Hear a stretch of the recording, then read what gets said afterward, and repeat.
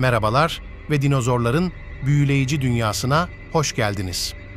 Bu videoda bu dev canlıların nasıl ortaya çıktığını, dünyaya nasıl hakim olduklarını ve yok oluşlarının gizemini derinlemesine inceleyeceğiz. Öncelikle devam etmeden önce kanalımıza abone olabilirsiniz. Dinozorlar yaklaşık 252 milyon yıl önce Permiyen-Trias devrinde ortaya çıktı. Bu dönemde dünya büyük bir kitlesel yok oluş olayından sonra toparlanmaya başlıyordu. İklim değişiyordu, yeni yaşam formları ortaya çıkıyordu ve dinozorların ataları olan küçük sürüngenler bu yeni dünyada bir fırsat buldu. Bu Permiyen-Trias devri yaklaşık 252-201 milyon yıl önce gerçekleşen jeolojik bir dönemdir. Bu dönem Paleozoik ve Mezozoik jeolojik zamanları ayıran ve dünya tarihinin en önemli dönüm noktalarından biri olarak kabul edilir. Permiyen-Trias devrinin en önemli olayı, büyük yok oluş olarak bilinen kitlesel yok oluş olayıdır. Bu olay, dünyadaki tüm deniz türlerinin %96'sını ve karadaki omurgalı türlerinin %70'ini yok ederek dünyanın şimdiye kadar gördüğü en yıkıcı kitlesel yok oluşlardan biridir. Permiyen-Trias devri, dünya tarihinin önemli bir dönüm noktasıdır. Bu dönemde meydana gelen kitlesel yok oluş, yaşamın kırılganlığını ve değişim karşısındaki dayanıklılığını göstermektedir. Permiyen-Trias devrini anlamak, günümüzdeki iklim değişikliği ve biyolojik çeşitlilik kaybı gibi önemli konularda da bize bilgi verebilir. Şimdi dinozorları geri dönecek olursak, dinozorların ataları günümüz kertenkelelerine ve yılanlara benzeyen küçük, çevik canlılardı. Bu canlılar çeşitli ortamlarda hayatta kalmayı başardılar ve zamanla daha da çeşitlendiler.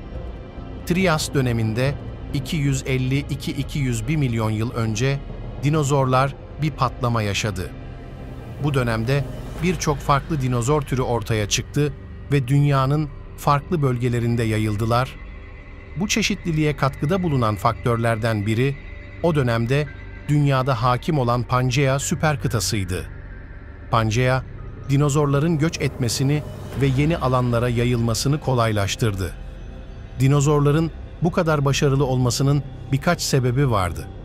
Birincisi, dinozorlar çok çeşitli ortamlara uyum sağlayabilen dayanıklı canlılardı.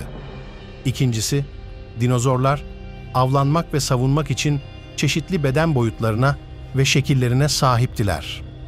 Üçüncüsü, dinozorlar yavrularını korumak ve hayatta kalma şanslarını artırmak için karmaşık sosyal davranışlar geliştirdiler. Dinozorlar, dünyada 165 milyon yıl boyunca hüküm sürdüler ve bu süre zarfında inanılmaz bir çeşitlilik gösterdiler.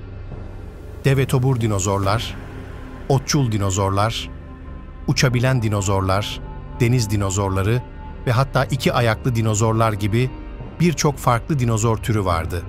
Yaklaşık 66 milyon yıl önce dünyaya büyük bir asteroid çarptı. Bu çarpışma iklimde ani ve büyük değişikliklere neden oldu ve birçok bitki ve hayvan türünün yok olmasına yol açtı. Dinozorlar da bu kitlesel yok oluştan kurtulamadı ve dünyadan silindiler. Dinozorlar yok olmuş olsa da geride bıraktıkları fosiller bize bu inanılmaz canlılar hakkında bilgi vermeye devam ediyor. Dinozor fosilleri, dinozorların nasıl yaşadığını, nasıl hareket ettiğini ve nasıl öldüğünü anlamamızı sağlıyor. Dinozorlar, dünyanın tarihinde önemli bir rol oynadılar ve bugün hala bize dünyanın geçmişi hakkında bilgi veriyorlar. Dinozorların gizemli doğuşu ve dünyaya hakim oluşu, dünya tarihinin en büyüleyici hikayelerinden biridir. Bu videoda dinozorların nasıl ortaya çıktığını, nasıl çeşitlendiklerini ve nasıl yok olduklarını keşfettik. Dinozorlar hakkında daha fazla bilgi edinmek istiyorsanız yorumlarda bize sormaktan çekinmeyin.